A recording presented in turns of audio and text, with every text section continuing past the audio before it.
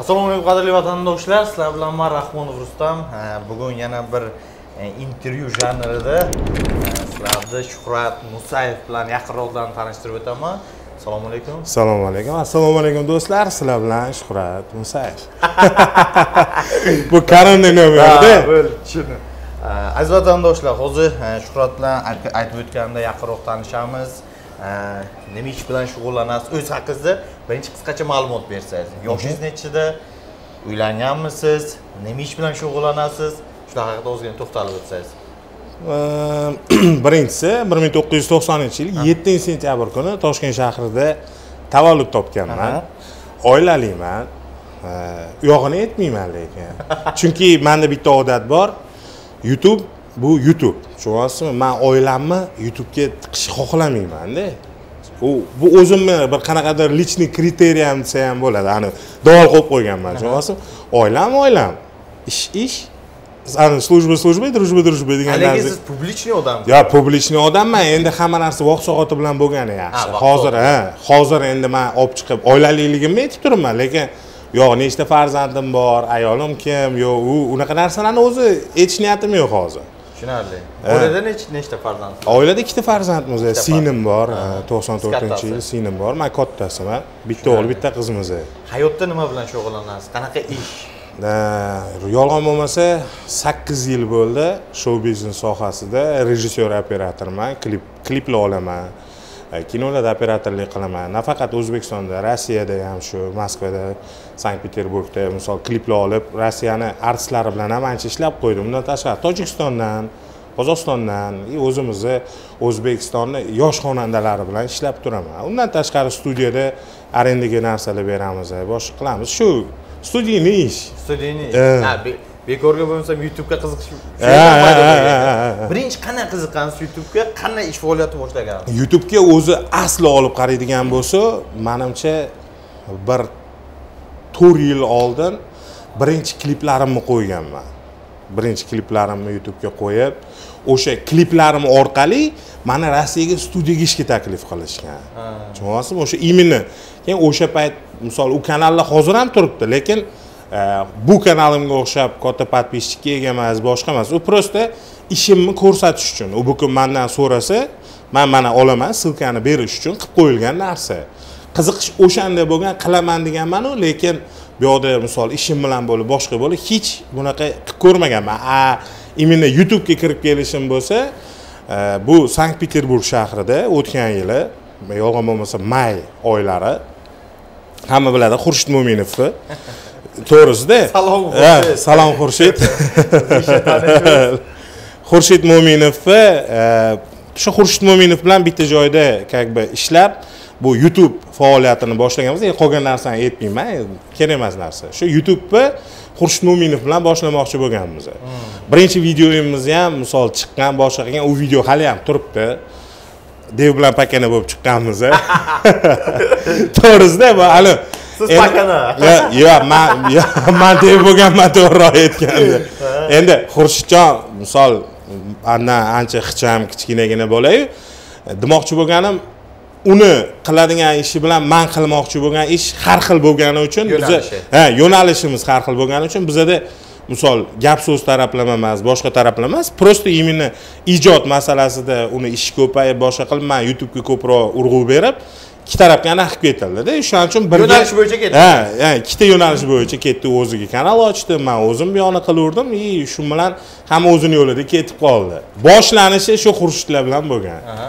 Hozirgi kunda sizga youtube qancha pul olib keladi ko'p kishi mani kritikovat qiladi "Balo- birovni puli bilan qiziqma lekin bu tushuntirib o'taman bu motivatsiya. Bo'lajak blogerlarga kimdir xohlaydiyu shu nechi pul pul olib kelishini bilmaydi. Shuning uchun taxminan youtube youtubedan pul ishlash reklama именно monetizatsiya orqali bir so'm pul ishlamaganman. Bir so'm pul olmaganman. Hozirgacha? Hozirgacha youtubedan monetizatsiyadan bir so'm pul olmaganman. Haligacha youtubeda kanalimda monetizatsiya o'chiq o'zim mani sizga taklifim yaxshi bizda partnyorka bu. Xudo xohlasa bir borib ofisga o'tirib gaplashsak. Xudo xohlasa.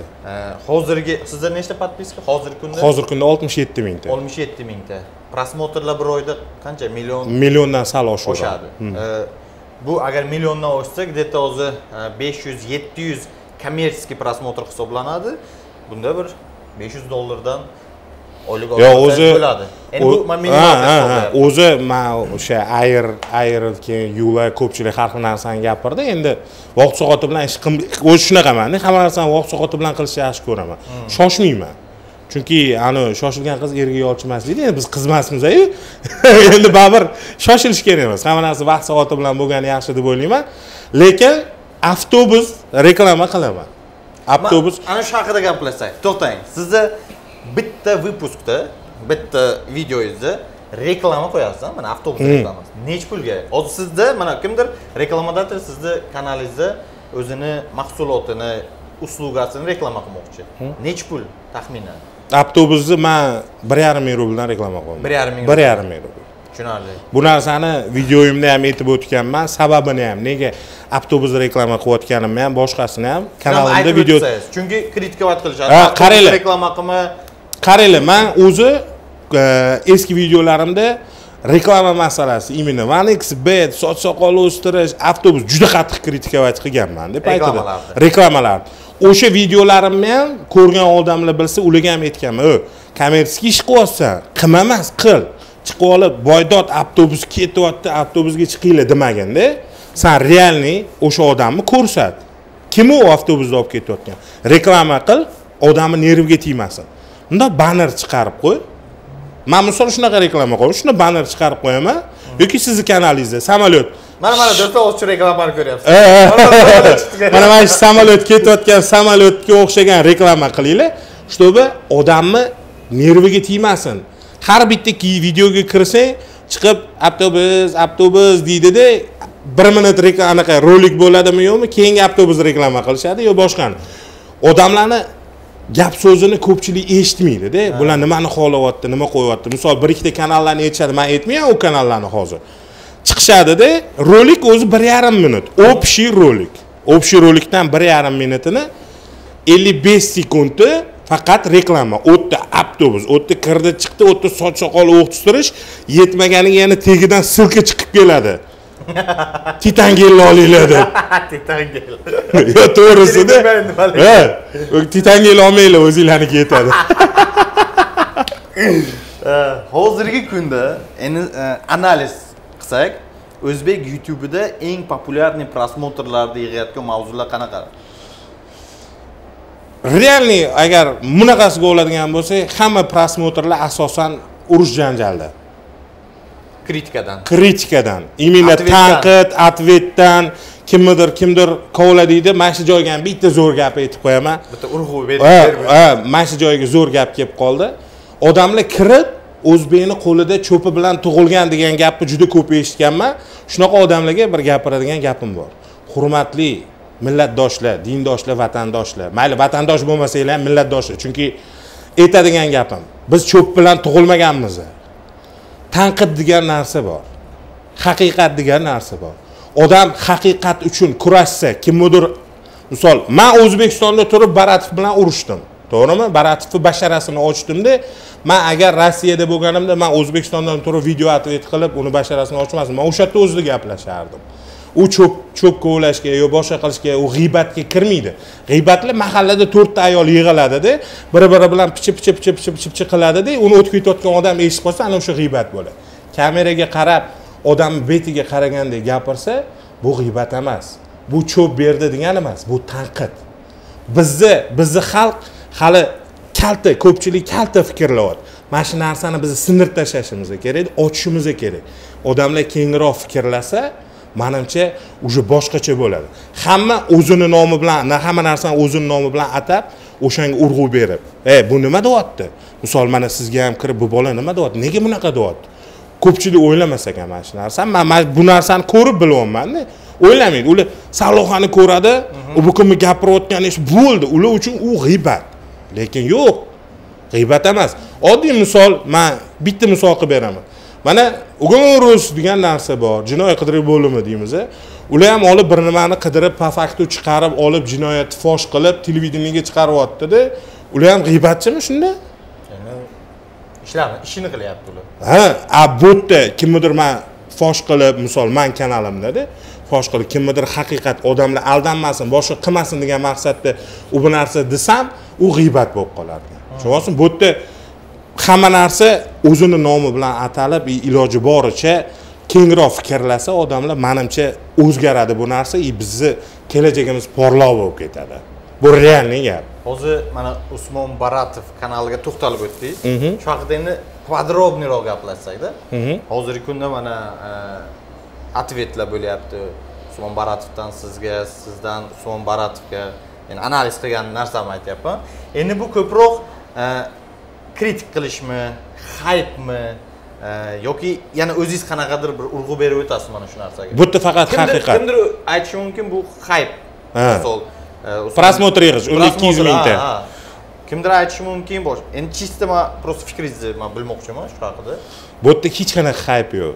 Man youtubeda hayp uchun просто так ani o'zimni ko'rsatish uchun video qilmaganman. Man misol nomini o'zgartirib bir ikkita video qilganman lekin videoni ichiga kirsa ham ha sallani kutib turdim как раз mana shunaqa video ko'rasan sallada to'g'rimi? Yaxshi narsa ko'rmasa mana shu narsa kerak sallaga deb misol video qilganman u hayp uchun emas odamlarga tushuncha berish uchun. Baratov masalasiga keladigan bo'lsa man bu odamni boshlanishi просто man qisqacha qilib man o'ttiz sekundlik narsani aytib beraman hozir. Qaranglar boshida bu insonga mani fikrim ellik ellik edi man u odamni na yomon ko'rmasdim na yaxshi ko'rmasdim. Просто subyektivniy fikrlab bularni qilayotgan ishini sastaraning ham yaxshi deb o'ylardim. Bir xil videolarni ko'rib yomon ham deb o'ylardimda. Video chiqardim chiroyli savol berdim. Muomalamni to'g'irlab tarbiyamni ko'rsatib insoniylik har taraflama chiroyli savollar berdim. Oddiy odamlar mandan so'ragan narsasini man chiqarib savol berdimda. Короче moskvada shou fashion shou o'tkazdik ya'ni modalar ko'rgazmasi ham musobaqa sifat qilib o'sha joyda e, usmon baratovni juri qilib chaqirilgandi. Juri qilib siz chaqirilgandi o'zinglar chaqiruvdinglar? Ha biz o'zimiz chaqirib munosabatinglar yaxshi bo'lgandi. Alo alo qilib man gaplashganman bu inson bilan. Tushunyapsizmi o'g'li bilan ham akmaljon bilan ham gaplashganman bular просто tan olishni yoqtirishmaydi tushunyapsizmi bular слишком baland uchib yurishibdi.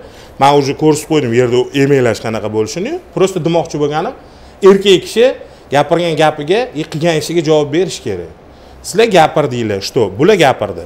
Mani xotinim rus o'sha fashion shouda mani sherigim bo'lib yuliya sakova degan ayol manga sherik bo'lgan. Biz ikkalamiz bu narsani tash- tashkillashtirib qozog'istonu boshqa chet chet joylardan odamlarni chaqirib modalar ko'rgazmasini o'tkazdi. O'sha joyga juri sifatida просто bitta odam yetmay qoluvdi o'shani o'rniga chaqirib qo'ydi xullas. Mayli kelsin mana shu ham bo'lsin chunki u yerda o'zbeklar bor man borman. Ko'rgazmada o'zbek bolalar qadimgi kiyimlarda ya'ni u ming yil Milliy qadimgi kiyimlarda chiqib ko'rgazmada misol yurishdi. Endi qanaqa maqsadda chaqirilgan? Misol ular ham video qilib o'zlarini kanaliga joyladi yo'q. Yo'q. Hech qanaqa unaqa maqsad bo'lmagan. Ular tarafdan u narsa so'ralmagan ham. Bizaga faqat просто juri ya'ni qo'llab quvvatlash uchun. Mana shu chunki nega? Bu yerda ham podiumda o'zbek o'zbek millatiga mansub odamlar. O'zbekistonliklar man borman bolalar bor u yerda qizlar bor edi. Demoqchi bo'lganim просто поддержкаga tushunyapsizmi поддержка sifat qilib chaqirildi. O'sha yerda o'tirishdi video syomka bularga diplomlar berdi o'zi ham chiqardi o'sha diplomni. Diplomlar berdi yedirdi ichirdi taksisiga pulini to'lab yana qaytarib jo'natib yubordi. Tushunyapsizmi ana o'sha sherik bo'lib ishlagan ayolni manga xotin qilib qo'ydi. Tushunyapsizmi uni ikkita bolasi bor. U ikkita bolasini manga farzand qilib qo'ydida tushundingizmi? Kim? Usmon baratov. Usmon baratov o'sha ayolni ha ha video manga ответ qilib chiqargan videosida otimni aytishga даже duxi yetmadi mayli. O'sha videosida o'sha rus ayolni manga xotin qildi bolalarini manga o'g'il qilib qo'ydi rus tilini biladi o'zbekchani bilmaydi deb qo'ydi. Atak o'zini o'g'lidan akmaldan xabari yo'q har ikkita gapida ruscha. Mayli man ham o'zim rus tilini qo'shib gapiraman lekin man o'zimni rusman deb kerilmayman o'zbek bo'lib turib faqat ruschada kar kar qilish yo'q keyingi masala masxara qildi. Mayli man gavdalidirman kattadirman kimdir semizdir boshqadir manga uni qizig'i yo'q mani besh qo'l baravar emas. Mani qo'l kattaroq semizroq bu ingichkaroq bu uzunroq. Odamlar ham xuddi shunaqa. Bu narsa mana shu elementarniy elementarniy oddiy bir nima desam ekan narsani tushunmagan o'sha oltmish yashar odam. Bir nimani tushunadi deb o'ylaysizmi? Bu, realniy narsada. Misol kimdir og'zin kimdir semiz kimdir bo'yi baland kimdir qiltir kimdir pakana. Endi demoqchimanki shu gaplar sizni hozirgi negativni chiqarayotgan videolaringizga sabab bo'lgan. Undan katta sabab bitta gapi bo'ldi. Sallani savolingga man javob berishga majbur emasman. Salla kim bo'libsanlarki manga savol berasanlar. Man rossiyani именно qarang. Rossiyani kodeksiga asosan sallani savolingga даже sudda berishimga javob berishga ham anaqam yo'q. Короче majbur emasman deyaptida. Tushunasiz даже sud orqali ham mandan javob ololmaysanlar deyapti. Mana maishiy siz nimaga savol bergansiz? Sabab nima bo'lgan? Sabab odamlar odamlar sizga yozishgan. Ha odamlar kommentarilarimga yozishgan. Nima deb? Mana va shuhrat aka mana shunaqa usmon baratov videolarini ko'rasizmi? Bu insonni anaqasi nima? Bilaylu savol bering. Shuhrat aka mana bunaqa shuhrat mana bunaqa shuhrat ukam ana ular mana bunaqa qilyapti shuhrat ukam mana bunaqa bo'lyapti deb u bitta emas u yuzlab odamlarni gapi tushunyapsiz siz odamlarni gapiga asoslanib odamlarni gapiga asoslanib просто oddiy savol elementarniy savol. Mana siz menga savol beryapsiz man javob beryapman. Buni yomon tarafi yo'q. Agar o'sha inson aqlli bo'lganda o'zi aytgandek yurist advokat правозащитник yana nima nima nima bo'lganda bu odam chiqib psixovat qilib tanimayman deb keyin сразу qarang tanimayman kim u o'zi deydida man bitta anaqa modeli ko'rgazmasiga bordim o'sha yerda tanishganman deydi birinchi tanimayman deyapti keyin tanishganman deyapti so'rashmaganman bir marta so'rashganman deyapti o'zi nima deyotganini o'zi bilmayapti. Qani bu yerda logika bormi logika yo'q hech qanaqa. Demak hayb uchun emas. Hayp uchun emas bu yerda faqat haqiqat uchun. Manga Aha. manga haqiqat faqat boshqa narsa kerak yo'q. Man ularni подписчиklarini yuz mingtadan ko'p черный spiskada yotganini ham bilaman gapimga javob ham beraman.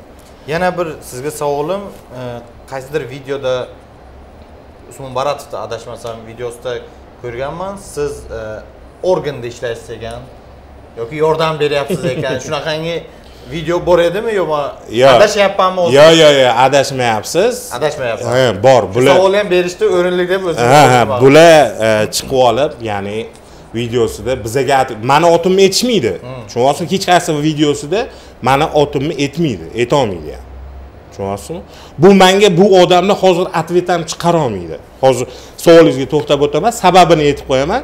Chunki birinchi qilgan videosida agar man bularga javob bersam o'zimni ниже plintusda qilib qo'ygan bo'laman deb gapirib qo'ygan gapi bor. Так что hurmatli usmon e tfu biling hurmatsiz usmon baratov siz menga mabodo ответ qilsangiz o'sha gapirgan gapingizni eslab qo'ying. Plintusdan sekin pastga engashingda keyin o'tib ответ qiling. Endi savolingizga kelsa u nafaqat kommentariyda bular videolarni orasida mana shunaqa organi dxxniki dedi boshqaniki dedi posolstvo manga qancha besh millionlab ham to'lagan degan gapni eshitdim kommentariylarda millionlab. O'zini odamlari o'ziga anaqa qilishyapti tushunyapsizmi yomon ko'rsatish mani maqsad. Lekin sizlar o'zinglarga o'zinglar qarshi chala bo'ldi. Yo'q. Man organda ishlamayman. Man posolstvoda ham ishlamayman. Man boshqa joyda ham ishlamayman man просто haqiqat tarafdoriman bo'ldi. Bu bor narsa bu fakt. Misol kimdir mani o't bu yerda ishlaydi desa kelsin manga isbotlab bersin gap yo'q. Do'stlar bu e, so'rashimni sababi hozirgi konfliktga ozgina yorug'lik kiritish. O'ylaymanki bu bilan kimdir man ko'tarib qo'ymadim yoki tushirib qo'ymadim. Bu shunchaki savol juda yam ko'p kommentariyalarda o'qidim. Shu savollar aynan odamlarni ham qiynayotgan ekan shuning uchun mana sizga savol bilan murojaat qilyapman.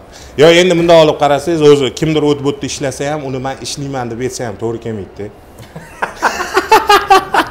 Bu bor narsada.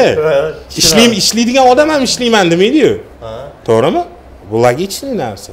Hozirgi kunda YouTube'da qaysi blogerlarni ijodi bilan qiziqasiz ko'rib borasiz analiz qilasiz bir realniy gap aytaman man o'zi e, vlog yo'nalishini yoqtiraman vlog yo'nalishini yoqtiraman yo bloglarni ham yaxshi ko'raman именно politikaga misol qiziqaman tushunyapsizmi qanaqadir bir xabarlarni eshitishni yaxshi ko'raman lekin vlog baribir qanaqadir Boshqa. boshqachada u yerda konflikt yo'q u yerda bir yomonlik yo'q u yerda misol manikidek chiqib olib hammani "Aa!" deb gapirishlar yo'q maza qilib ko'rasanda lekin mani kanalimga kirsa ko'pchilik maza qilmaydi. Bilaman u narsani.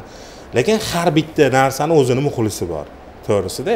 Vlog yo'nalishini yaxshi ko'raman. Misol nodir akani ko'raman. Nodir zakirov. Nodir o'g'il. otabek akam bilan otabek assalomu alaykum. Bu odam bilan o'n yildan oshdi tanishganimiz. Okamlar brat. Eski qadrdon.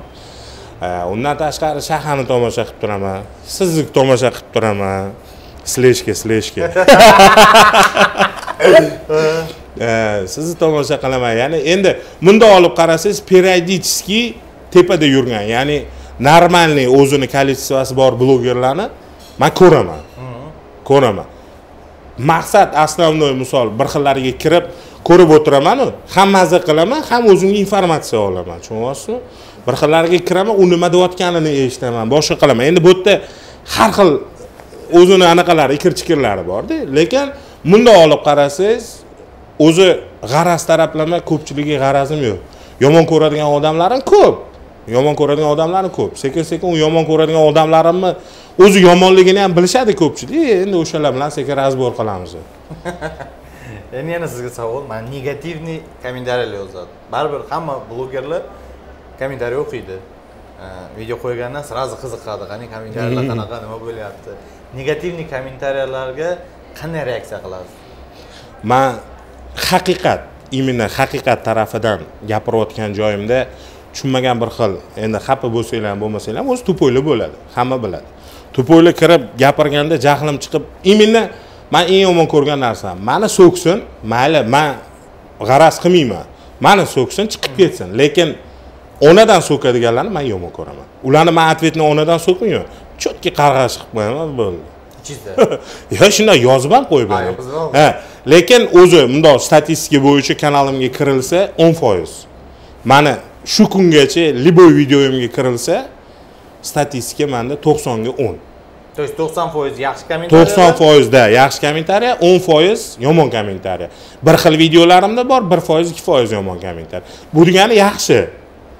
Man xursandman shunaqaligiga endi yomon kommentariyalar nimalar deb yozilgan? Shular haqida ham ozgina aytib o'tsangiz endi mani mani yo'nalishim tanqid bo'lgani hisobiga ko'pincha gapiriladigan gapi. San o'zbeklarni sharmanda qilyapsan sani qo'lingga cho'p berib qo'yishgan g'iybatchi.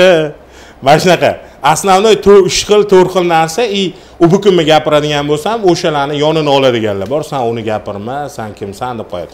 Yo'q kelinglar mana shu san kimsan? Uni gapirma deydigan joyiga bitta отдельно to'xtalib o'tamiz. Man har bitta mani tomosha qilayotgan odamni уровенida ya'ni ular kim bo'lishidan qat'iy nazar o'sha pog'onadaman. Man ham sizlarga o'xshagan xudoni bir yaratgan bandasiman. Undan tashqari man ko'p marta gapirganman. Manmanlik ulug'lanish kerak emas. Ustunlik faqat yaratgan egamga bandasiga emas. Так что birov mandan ustun emas man birovdan ustun emasman. Lekin birovdan og'zi zamok joyim yo'q. Yana bitta savollardan bittasi o'zingizga nisbatan sizda o'zi kompleks bormi? Mana o'zizni e, vesingizga yo'q nisbatan. Yo'q umuman yoshligimdan даже bo'lmagan. Man ko'rinishimdan uyalmayman ham boshqa ham qilmayman. Chunki bundoq olib qarasang formam ja yomon ham emas ja super ham emas и birinchidan uyalishdan tashqari man o'zimga qulay shu vesim hansirab qolmayman. Shu turishga misol boya aytgandek shu shpagatim bor o'zimni yengil his qilaman. Og'ir emasman. Bo'y bir to'qson uch ves bir yuz ellik kilo. Yirik odamman man uchun normal. Bir marta ves tashlab ko'rganman. Mana bunaqalar bo'lib. Sekin formaga kelganman. Xuddi yelkamga yuz ellik kilo ves solib tashlab yana ustiga yuz ellik kilo qo'yib qo'ygandek bo'lib qolganda ya'ni man ves tashlaganimda o'zimni yomon his his qilganman. Tushunyapsizmi? Уже man uchun qanaqadir bir boshqacha bo'lganda u tushuntirib bera olmayman u narsani. Ya'ni bu mani normam man semirmayman man ozimayman mana mana shu holatda yuraman yuraveraman. Demak kompleks yo'q. Kompleks umuman yo'q. Hayotda eng e, hammaga savol berganim hayotdagi eng yuqori qo'ygan o'zingiz oldingizdagi maqsad nima sel.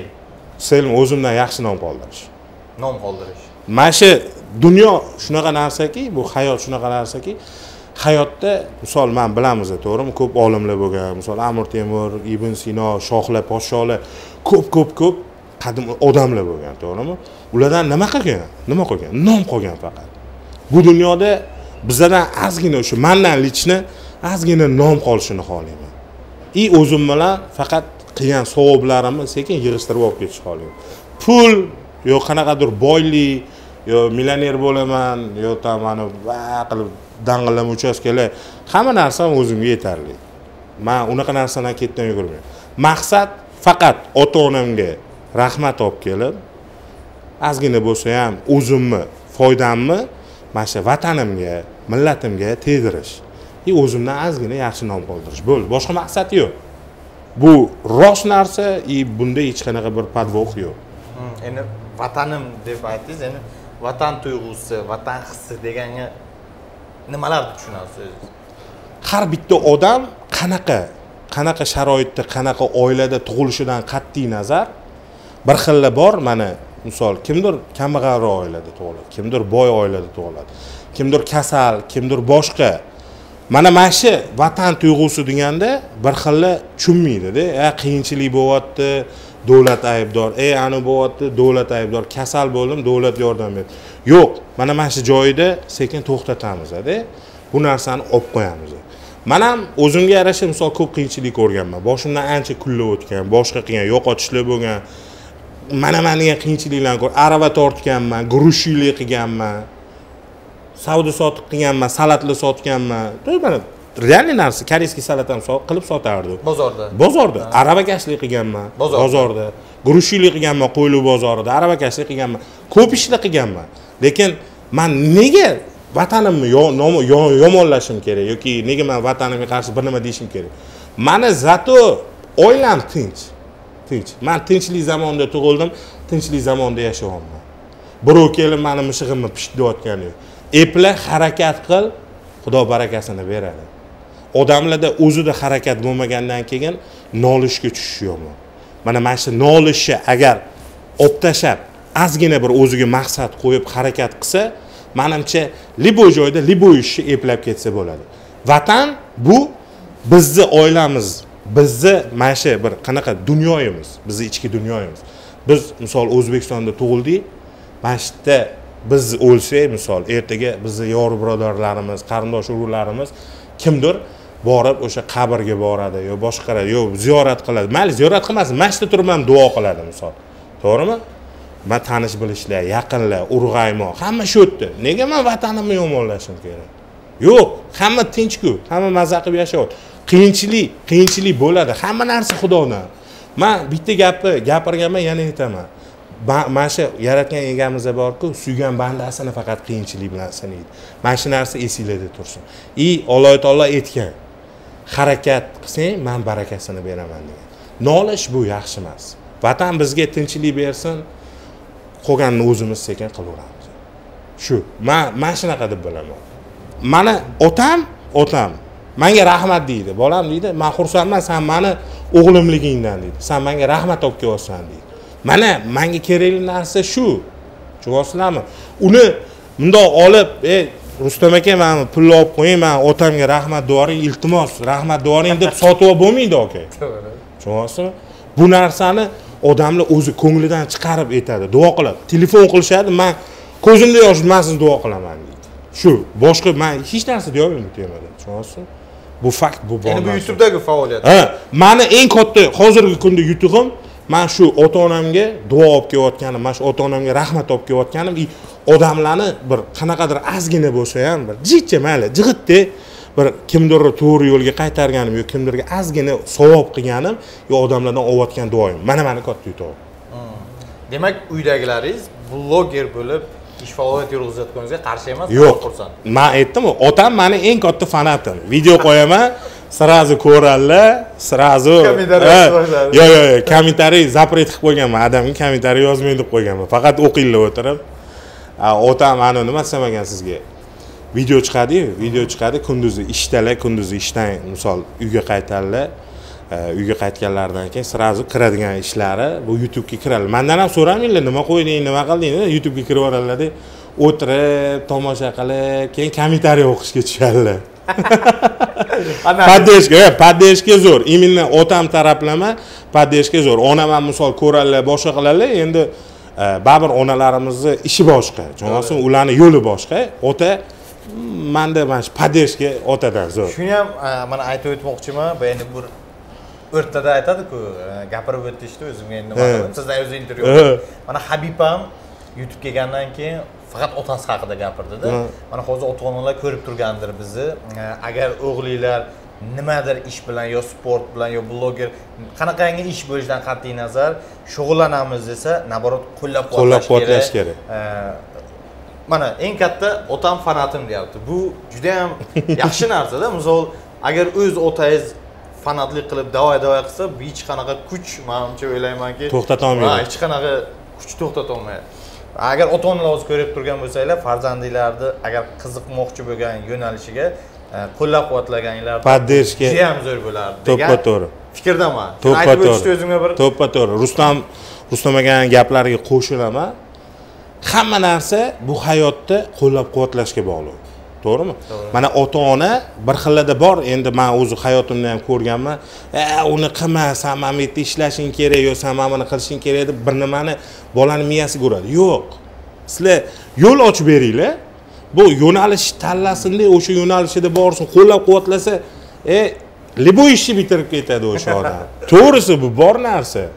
Tushunyapsizmi hamma narsa bu поддержкаga mana oddiy auditoriyani ham misol hisobga olaylik sizda auditoriyangiz bor. Sizni misol qo'llab quvvatlashsa bu shashtni oshiradi baribir odamni shashtini tushunyapsizmi motivatsiya beradi. E, yana yana deydi bu mazada tushunyapsizmi buni hech qaysi boya siz bilan naryoqda gaplashgan gapimiz. Hech qanaqa pul mul uni almashtirib bo'lmaydi. u boshqacha tuyg'u. O'qiysizda mayli hammaga javob yozolmaymiz. Lekin o'qiysiz o'qiymiz. Har bir kommentariyni o'qiymiz. O'qiganimizda bu misol mayli negativ man negativ ko'rmaslikka harakat qilaman yaxshisini olaman.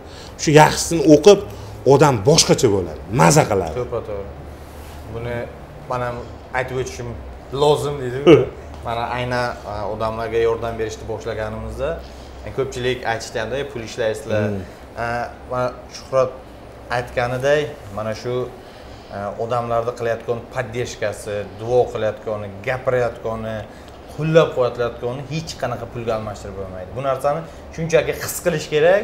His qilgandan keyin shu narsani yanada his qilish uchun yanada ko'proq e, tozaroq ishlashga Ha, harakat qilasiz bu bor narsa. ishtimon bilan almashtirib bo'lmaydi. Bu ishtiyoq просто ha qarang. Ko'pchilik mana ko'pchilik demayman bunaqalar kam. O'zi o'zi. Ozgina bo'lsa ham yordam qilmaydida birovi qilgan yordamini ham ko'rolmaydigan odamlar bor rustam aka bilasiz bu narsani. sizda ham ancha ha, ha. kritikalar bo'lib ketdi. O'shanaqalar ana o'shanaqa insonlar odamni shashtini tushiradi. Shashtini tushirib bu yaxshilik qilib yuribdi bitta odam yaxshilik qilyapti boshqa qilyaptiyu. Bu gapirayotgani man sizlarga yaxshilik qilib yo man gapirayotganim yo'q misol bir man yaxshilik qilyapman boshqa qilyapman deb gapirayotganmiz. Biz просто olib qilyapmiz bo'ldi.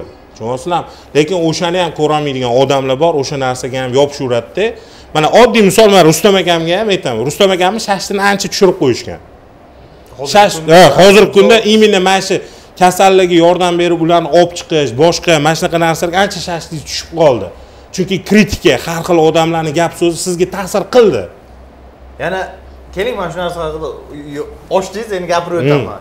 E, masalan youtubeda birinchi shov shuv bo'lgani bu ana u ikki ming rubl pasport uchun olingan mana shu narsa bo'lib ketdi. Hmm, hmm, hmm. endi hozirgi kunda man aytib o'taman endi buni aytishni lozim deb bildim. Chunki mana shu odamlarga yordam berishni boshlagan paytimiz endi bu birinchilardan boshladik o'sha paytlar youtubeda. Hali unchalik ommalashmagan mavzu. Rivojlanmagan ha bu mavzu rivojlanmagandi. Bu narsani youtubega olib kirib keldik. Aytmayapman olib kirib keldim deb. Olib kirib keldik bunga bir necha odamlar sababchi bo'lgan maslahat berishgan bizga kattalar oqsoqollar maslahat bergan davay mana shu olib kirib e, judayam ko'p odamlarga qo'ldan kelguncha yordam qildik shu bilan bir qatorda hozirgi kunda mana o'zbekistondaman o'zbekistonda judayam ko'p televideniyalar Mhm. e, internet e, Tarmoqlar. gigant saytlar Mhm. hamma yordam bilan shug'ullanishyapti shu mavzu ommalashdi. Ommalashdi. demak biz hayotni ozgina bo'lsa ham yaxshi tarafga o'zgartira oldik. O'zgarishga ya'ni o'zimizni hissamizni qo'shdik. mana shu narsadan boshlandi hamma narsa kichkina narsadan boshlandi. Lekin keyin yana pasport masalasi mana e, pasportni odamlar yo'qotishni boshladi. Bizga bitta odam mu- murojaat qildi pasportini qo'yib berdik. Kimlar juda ko'p odam topdi juda ko'p odam topolmadi ham. Mana misol bu narsani ham bu ham bir proyekt hisoblanadi. Bu proyektni ham olib kirib keldik keyin yana negativniy videolar chiqishni boshladi. Mana ikki ming pasport uchun ol- olyapsan reklamasi uchun. Bu ham bundan olsa reklamaga kiradi bizda ham komanda bor edi ozgina. Endi Odamlar. montajyor operator ularga ham qanaqadir oylik pul to'lash kerak. Chunki hech kim bepul ishlamaydi. Misolda просто так havoga sizga birov kelsa aytsa ishla qiziqishingiz bor lekin qiziqish bilan qorin to'ymasa kerak. Yo'q unisi to'g'ri bu gapingizga Qiziqishdan qo'shilaman misol ha rustam akam demoqchi bo'lgan gaplarni man tushundim. Misol bular bir o'zlari emas bularda odamlar bor edi ularga pul to'lashlari kerak edi. Конечно o'sha narsani ha bo'ldi. Man ham tushundim uni keyin e, buni usluga qildik ming rubldan misol sizni pasportingiz yo'qoldimi bizga chiqasiz ming rubl to'laysiz. E, biz bu narsani montaj qilib kerakli mavzuga qo'yib chiqarardik juda ko'p odam topgan. Topganlar topgan odamlar kommentariyada yozinglarda misol keyin yana mana shunaqa ketgandan keyin yana mana qanaqadir video chiqqaningizni bilasiz misol ikki ming rubl olishadi unaqa qilishadi e, Gap so'zli gap bo'ldi. so'z bo'lib ketdi. To'g'risini aytsam hozirgi kungacha juda ko'p odamlar yuborishadi pasportni уже qo'ygim kelmaydi. Shash tushirib qo'yishganda ha qo'ygim kelmaydi. Aytaman ha buni qo'yaman hozir. Boshlanadi yana gap so'z yo boshqa narsa. Shu narsa ham bu proyektni ham buni olsa yopdikda buni yopmasdan наоборот agar odamlar qo'llab quvvatlashsa edi buni kuchaytirsak edi отдельный sayt yaratib mening planlar bor edi. Отдельный sayt yaratib предложениялар qilib telefonlarga hamma odam o'sha yo'qolgan topgan odamlar pasportni bitta предложениеdan qilsa edi kimdir yo'qotsa o'sha yerga kirib ko'rardi kimdir topib olsa o'sha предложениеga tashlardi pasportni shunaqa niyatlar bor edi. Bu proyekt qilish. Bekor etib qo'ydingiz. Yo'q bekor etib qo'ydingiz. Keyinchalik mana shu shaxs qaytgandan keyin bu narsani tashlab qo'ydik lekin hozirgi kunga kelib biz qiynalmayapmiz. Mana shu pasportini yo'qotib qo'ygan odamlar qiynalyapti chunki bitta pasport yo'qotgandan keyin tushuntirib o'taman. Ko'p odam savol beradi qanaqa qilib topsam bo'ladi yoki o'zbekistonga qanaqa qilib ketsam. Buning uchun посольствоga borish kerak formula 9 e, u yerda yo'qotilgan haqida spravka olish kerak yugur yuguri juda ko'p. Buni endi tushungan pasportni yo'qotgan odamlar biladi. Yana tуда обратно bilet olish kerak. O'zbekistonga kelgandan keyin pasport almashtirish uchun vaqt kerak ishini yo'qotishadi. Bu juda yam katta bir ming dollarlab pul sarflaydi vaqt sarflaydi nerv. Lekin bu narsani ming ikki ming rubl bilan hal qilsa bo'lardi. Mana shunaqa предложение orqali приложение bo'lsa да. buni, hech kim tushunmadi balki tushunishga ha, o- ну bu уже o'tmish buni просто aytib o'tishimni o'zimga o'zingizdan soqit qilib qo'ydingiz Ha, aytib bo'ldi qo'ydim man просто shunchaki aytib qo'ydim. O'ylaymanki bu narsani kimdir to'g'ri qabul qiladi kimdir noto'g'ri qabul qiladi. Mandan ham misol pasport qo'yib ber deyishadi. Man qo'yib beraman. Manda komanda yo'q. Man kimdirga pul to'lamayman boshqa qilmayman. Man olaman shunaqa qo'yib yuboraman bo'ldi mandan bir anaqa emas. Man duo qilib qo'ysin bo'ldi deyman lekin siz aytgandek misol приложение ochib bunga расход qilib bitta предложение ishlatib o'taman ikki yuz ming rubl turadi. Yarating shunaqa shunaqa. Bunaqa приложение qilib yoki siz aytgandek komanda qilib to'g'ri ularga ham pul berishga ular tirikchilik qilish kerakku oilani boqish. U narsani tushunaman. U boshqa tema. Lekin mani anaqam bu boshqa temada. Tushunyapsizmi bir o'zimligim demak uchun aziz vatandoshlar agar pasportinglar yo'qolsa bemalol murojaat qilishinglar mumkin kanalni ссылкаga qol- описаниеda qoldiraman.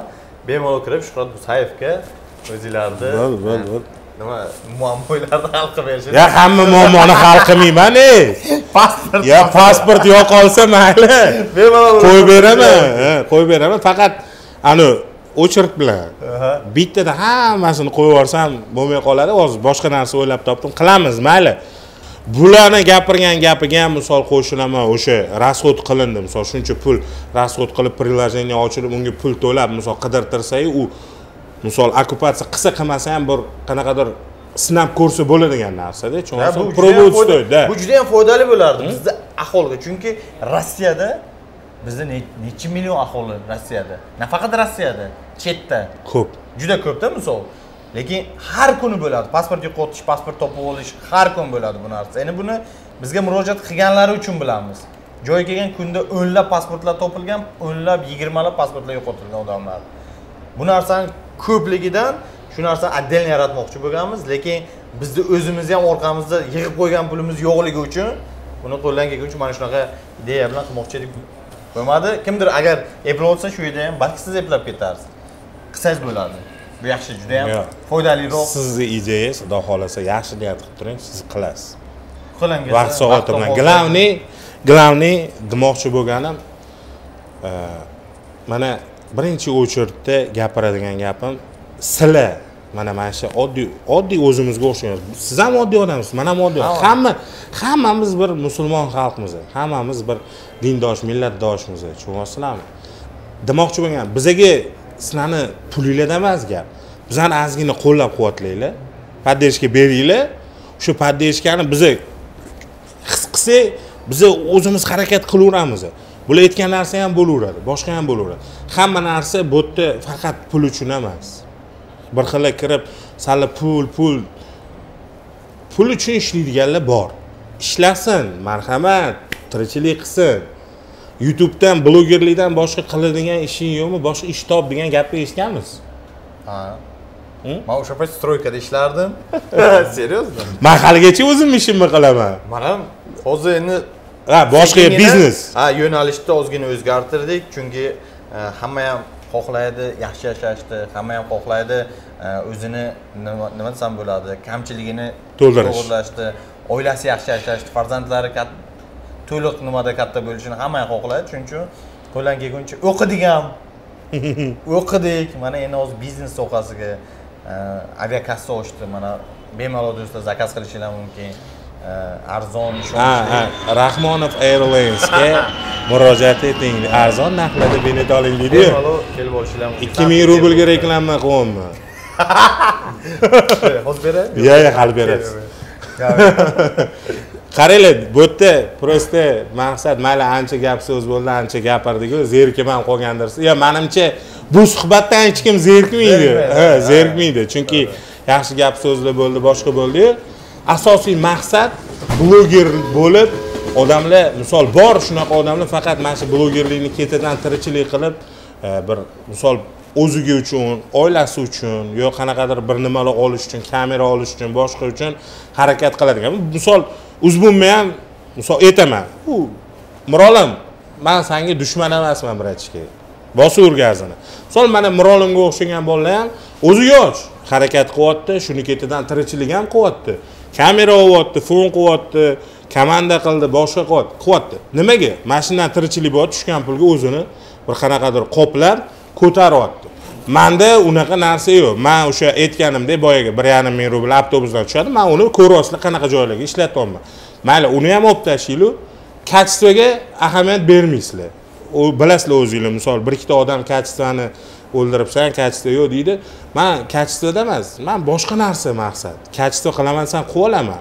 Internet zo'r bo'lib ketsin качество ham zo'r bo'lib ketadi deydiyu o'shaning uchun demoqchi bo'lgan umumiy qilib aytganda har bitta blogerni o'zini qiladigan ishi bor. Sizlar o'ylamanglar ular bekorchilikdan bloger bo'lib ketdi. Yo'q bekorchi odam bloger bo'lib ketolmaydi u yurish kerak u izlanish kerak u qarash kerak u topish kerak material berish kerak kamera kerak montaj qilish kerak. Ideya qilish ideya qilish kerak. Bu hammasiga vaqt ketadi. Bu ham hammasi qanaqadir bir mehnat tushunyapsizlarmi qattiq mehnat. Yo'q o'sha просто mana shunaqa gapiradigan odamlar. Iltimos bir kun bloger bo'lib bitta video qilib chiqarib ko'ringlar.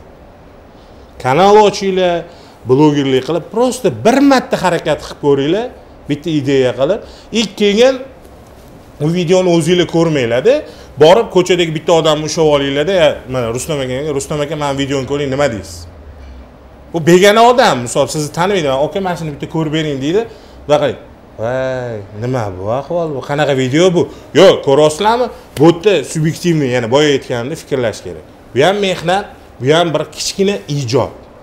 Hamma o'zi xohlagancha o'zini stilida harakat qiladi. Kimga yoqmasa oddiy har doim gapirgan gapim kanalimda ham aytaman. Kimga yoqmasa ikkiga urasizlar направление bo'yicha sekin surib ketaverasizlar. Shu boshqa varianti yo'q.